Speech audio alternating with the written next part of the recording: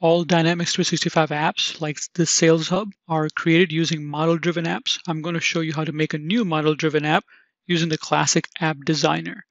So I'll start with going to make.powerapps.com. That's where you want to go to begin with. Once you're at make.powerapps.com, could go to model driven app from blank, but I would suggest picking a solution first. So I'm going to instead go to solutions and then pick the solution that you want. Now, if you don't have a solution, you can go ahead and make a solution here.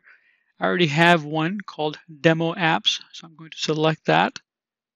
Within demo apps, currently there's nothing here. So I'll click on new app and then a model driven app. A couple of different experiences here. This is the new experience modern app designer. Here's the classic app designer. I'll choose the classic app designer here. Here I'm going to give it a name. As soon as I typed it in, it filled up the same unique name here too.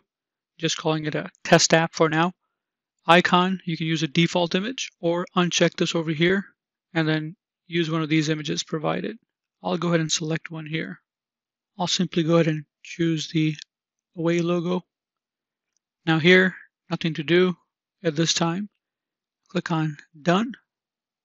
It starts by giving me this canvas where I can work. I can choose the sitemap, dashboard, add entities, and so forth right here. We'll start by clicking on the sitemap. Opens up the sitemap. I'll go ahead and change the name of the area here, giving it a title. As soon as I typed it, it appears here as well. I'll go to new group and type something here as well. We'll make this group sales. Now go into sub area. Need to select over here that is going to be type entity. And this is where I would choose an existing entity. I'm going to search for and pick the lead entity. Now I need another sub area. So while I'm at the area, I'm going to say new sub area. I'll go ahead and pick the type entity as before. And for selecting an entity, I'll choose account. So I'm going to type it in. When that appears, I'll select it. Then I'll go ahead and click on save to save everything. Now when everything is saved, I'm going to go ahead and publish it. It's publishing my sitemap. Once the publishing is completed, I can go back to App Designer. See over here, I have the entities, account, and lead. If I go into, click on the account, for example, see if I have uh, all the forms and everything else generated. Here it is, all the forms. Then I go back and look at the views.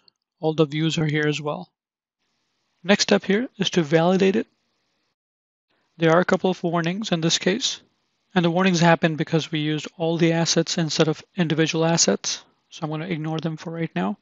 It was by design, so I'm not going to worry about it. And I'm going to go ahead and click on Publish. Once the publishing is successful, I can click on play.